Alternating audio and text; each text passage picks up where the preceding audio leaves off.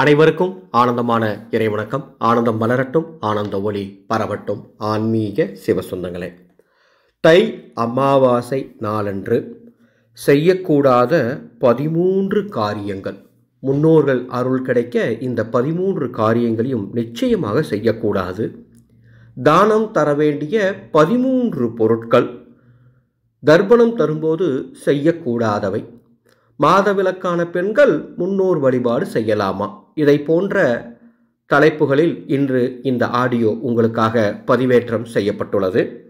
ஆடியோக்கு போகிறதுக்கு முன்னால் ஒரு அற்புதமான சிவ வாசகத்தை கேளுங்கள். அன்பான சிவபக்தர்களே கவலை கொள்ளாதீர்கள். எதுவும் தாமதமாகிவிடவில்லை. எதுவும் தாமதமாகிவிடவில்லை. இந்த நொடி இந்த நொடி இந்த நாளிகை எந்த ஒரு பிரார்த்தனையும் இல்லாமல் ஈசனை நீங்கள் வணங்குங்கள். உங்களுடைய எல்லா விதமான கவலைகளும் நீங்கும். உங்கள் மனதில் சிவம் நிலைத்து நிற்கும். எந்த ஒரு பிரார்த்தனையும் வைக்காமல் ஈசனின் தரிசனத்தை ஒரு நொடி பாருங்கள். நிச்சயமாக ஈசனின் கருணையால் உங்களுக்கு எல்லா கவலைகளும் துன்பங்களும் தீரும். அன்பு சொந்தங்களே ஆடியோ போட்டோம்னால ஒரு அருமையான தகவல். தை அமாவாசை ஒன்பது இரண்டு இரண்டாயிரத்தி இருபத்தி நாலு. இந்த வருடம் தை அமாவாசை முன்னிட்டு இறந்த முன்னோர்கள் ஆத்ம சாந்தி செய்ய.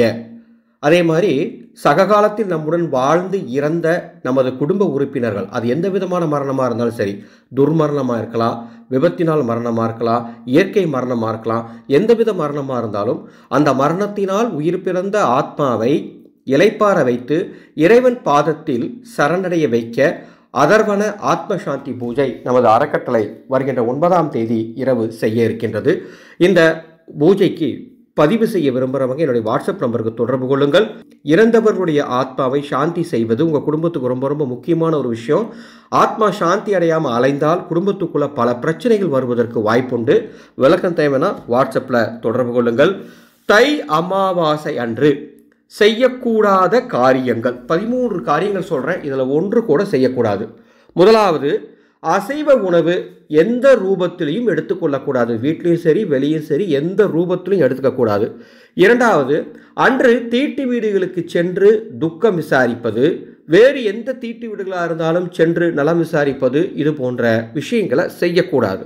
மூன்றாவது எந்த சூழலிலும் ஆபாச வார்த்தைகள் அன்று நீங்கள் பிரயோகிக்க கூடாது முன்னோர்களின் கோபத்திற்கு ஆளாவீர்கள். நான்காவதாக அன்று குடும்ப உறுப்பினர்கிட்ட எல்லாத்திட்டையும் சொல்லிடுங்க நகம் வெட்டுறது கண்டிப்பாக செய்யக்கூடாதுங்க. மிகப்பெரிய முன்னோர் சாபத்துக்கு ஆளாக நேரிடும். ஐந்தாவதாக அன்று முகச்சவரம் செய்தல் முடித்திருத்தம் செய்தல் போன்ற காரியங்களை அன்பு கூர்ந்து ஆண்கள் செய்ய வேண்டாம். ஆறாவதாக அன்று நீங்கள் தர்ப்பணம் தரீங்க தர்ப்பணம் தரலை முன்னோர்களுக்கு படையிலிட்டு வணங்குறீங்க இல்லை அதெல்லாம் உங்கள் இந்த சூழலுக்கு தகுந்த மாதிரி நீங்கள் முடிவெடுத்துக்கோங்க. எப்படி தர்ப்பணம் கொடுக்கணும் எந்த நேரத்தில் வணங்கணும் எல்லாமே ஏற்கனவே நம்ம சேனலில் தெளிவான ஆடியோ கொடுத்துட்டேன். அந்த ஆடியோட லிங்க் இந்த வீடியோக்கு கீழே டிஸ்கிரிப்ஷன் பாக்ஸில் கொடுத்துருக்கேன். கேட்டு அதே மாதிரி பூஜை செய்யுங்க. ஒரு அற்புதமான சூட்சம தீப வழிபாடும் சொல்லியிருக்கேன். கேட்டு செய்ய முயற்சி பண்ணுங்கள் இதில் எந்த வழிபாடு நீங்கள் செய்கிறீங்களோ செய்யலையோ அன்று காலை உணவு எடுத்துக்கொள்வதற்கு முன்பாக குளிக்காமல் உணவு எடுத்துக்கொள்ளக்கூடாது. நீங்கள் பூஜை செய்யலினாலும் பரவாயில்ல.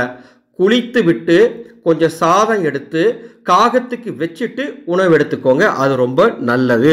அன்று எந்த சூழலும் வீடு அடைத்தல் கூடாது. அதாவது வீடு பூட்டி இருக்கக்கூடாது முடிந்த அளவுக்கு வீ வீட்டில் யாராவது ஒருவர் இருக்குமாறு பார்த்து கொள்ளுங்கள். எட்டாவதாக அன்று காலையும் மாலையும் வீட்டு வாசலில் கோலம் போடுதல் கூடாது. ஒன்பதாவது அன்று மிகவும் கடினமான வேலைகளை செய்யாமல் இலகுவான வேலைகளை செய்யுங்கள். பத்தாவதா யார்கிட்டையுமே சண்டை போடாதீங்க. அதாவது வாக்குவாதம். ஏட்டிக்கு போட்டி பேசுறது விமர்சனம் பண்ணுறது அந்த மாதிரி யார்கிட்டையும் வாக்குவாதம் பண்ண வேண்டாம். பதினொன்றாவதா அன்று யாரிடமும் கடன் வாங்க வேண்டாம். பனிரெண்டாவது யாரையும் துச்சமாகவோ அவமானப்படுத்தும் வார்த்தைகளை கொண்டோ நீங்கள் பேசக்கூடாது. உங்கள் வீட்டில் இறந்தவர்கள் படம் இருந்துச்சுன்னா கண்டிப்பாக ஒரு தீபம் ஏற்ற வேண்டும். தீபம் ஏற்றாமல் இருக்கக்கூடாது. சுவாமி எங்கள் வீட்டில் இறந்தவர்கள் படம் இல்லை. நாங்கள் என்ன பண்ணணும் அப்படிங்கிற ஒரு சூழல் இருக்கிறவங்க உங்கள் வீட்டினுடைய மையப்பகுதி அதாவது ஹால் பகுதியில் ஏதாவது ஒரு இடத்துல ஒரு சின்ன நாற்காலி போட்டு அதில் ஒரு தட்டு அது மேலே ஒரு தீபம் இறந்தவர்கள் வணங்குவதற்காக ஒரு தீபம் ஏற்றுங்கள். காலை மற்றும் மாலை நேரத்தில் அந்த தீபம் குறைந்தது ஒரு ஒரு மணி நேரம் எரியட்டும்.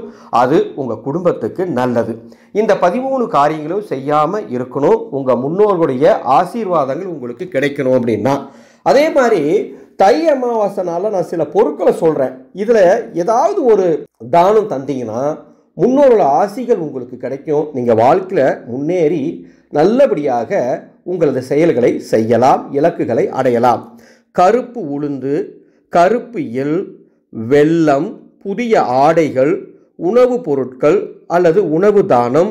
அடுத்ததாக உடல் ஊனமுற்றோவர்களுக்கு உடைகள் எடுத்து கொடுப்பது தண்ணீர் தானம் செய்வது மோர் தானம் செய்வது இனிப்புகள் தானம் செய்வது வாழைக்காய் தானம் செய்வது காய்கறிகள் தானம் செய்வது காலணிகள் தானம் செய்வது பச்சரிசி தானம் செய்வது. இந்த பதிமூன்று தானங்களில் ஏதேனும் ஒன்று அன்று செய்யுங்கள். ரொம்ப ரொம்ப நல்லது.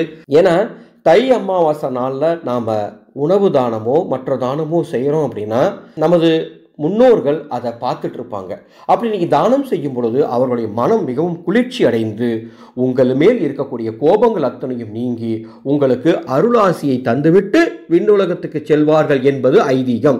எனவேதான் நமது ஆனந்த ஒளி அறக்கட்டளையின் அன்னசேவா குழு தை அமாவாசை அன்னைக்கு வயது முதிர்ந்த உடல் ஊனமுற்ற சுமார் ஆயிரம் பேருக்கு நாம் உணவு தருவதற்குண்டான ஏற்பாடுகள் செஞ்சிட்ருக்கோம்.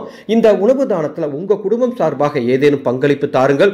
உங்கள் முன்னோர்களின் அருளாசி உங்களுக்கு முழுமையாக கிடைக்கும். இந்த வீடியோக்கு கீழே டிஸ்கிரிப்ஷன் பாக்ஸில் எங்களது அறக்கட்டளையின் வங்கி கணக்கின் மற்றும் கூகுள் பே ஃபோன்பே நம்பர் தரப்பட்டுள்ளது. உங்கள் குடும்பம் சார்பாக ஏதேனும் பங்களிப்பு செலுத்திவிட்டு உங்கள் முன்னோர்களின் பெயரை சொல்லுங்கள். அவர்களுக்காக சிறப்பு பிரார்த்தனை செய்து இந்த அன்னதான சேவை நடைபெறும். அடுத்ததாக மாதவிலக்கான பெண்கள் முன்னோர் வழிபாடு செய்யலாமா? இது ஒவ்வொரு வருடமும் நம்ம விளக்கம் கொடுத்துட்டு தான் இருக்கோம். ஆனாலும் இது தொடர்பாக நிறைய கேள்விகள் வாட்ஸ்அப்பில் கேட்குறாங்க மாதவிலக்கான பெண்கள் முன்னோர் வழிபாடு செய்யலாம். நம்ம சென்ற வருடமே அதை நம்ம சொல்லிட்டோம். நிறைய ஆராய்ச்சிகள் செய்து நாங்கள் அனுபவத்தில் பார்த்து தான் இந்த விஷயத்தை சொல்கிறோம் மாதவிலக்கான பெண்கள் முன்னோர் வழிபாடு செய்கிறதுல எந்த தவறும் கிடையாது. பூஜை அறைக்கு போக வேண்டாம். ஆனால் முன்னோர் வழிபாடு மட்டும் நீங்கள் தாராளமாக செய்து கொள்ளலாம். அதே மாதிரி முக்கியமான இரண்டு ஆலோசனை. தை அமாவாசைனால நீங்கள் ஆலயத்துக்கு போய் இறைவனை வணங்கும் பொழுது அங்கு யாரிடமும் எதையும் இரவலாக வாங்காதீர்கள். விபூதி பிரசாதம் குங்கும பிரசாதம் வாங்குறதெல்லாம் சொல்லலை. தீபம் ஏற்றுவதற்கு விளக்கு அல்லது தீப்பெட்டி அல்லது வேறு எந்த பொருளாவதும் கோவிலில் இரவல் வாங்க வேண்டாம். அடுத்ததாக தர்ப்பணம் தரவங்க. தர்ப்பணம் தருவதற்கு தேவையான பொருட்களை எந்த சூழலிலும் அன்று இரவல் வாங்கக்கூடாது. அதுக்கு தேவையானதெல்லாம் நீங்களே எடுத்துகிட்டு போகணும். அன்பு சொந்தங்களே இந்த தை அமாவாசை ஆலோசனை உங்களுக்கு மிகவும் பயனுள்ளதாக இருக்கணும்னு நம்புகிறேன் நான் இந்த ஆலோசனையில் உங்களுக்கு சொல்வதற்கு காரணம் ஒன்றே ஒன்று தான் நீங்கள் அத்துணை பேரும் மகிழ்ச்சியாக இருக்கணும். எந்த பிரச்சனையும் இல்லாமல் முன்னோர் சாபமும் இல்லாமல் எந்த குறையும் இல்லாமல் நீங்கள் ஆனந்தமாய் வாழ வேண்டும் என்ற ஒரே நோக்கத்தோடு தான் சொல்லிட்டு இருக்கேன். எனவே இந்த ஆடியை உங்களுக்கு தெரிந்த அத்துணை பேருக்கும் பகிர்ந்து கொள்ள வேண்டும் என்று அன்போடு கேட்டுக்கொள்கின்றேன். முன்னோர் சாபம் நீங்குவதற்கு ஆத்ம சாந்தி பூஜை மற்றும் அன்னதான சேவையில் பங்கெடுக்கிறவங்க என்னுடைய வாட்ஸ்அப் நம்பருக்கு தொடர்பு கொள்ளுங்கள் இன்னும் ஒரு அற்புதமான தகவல்.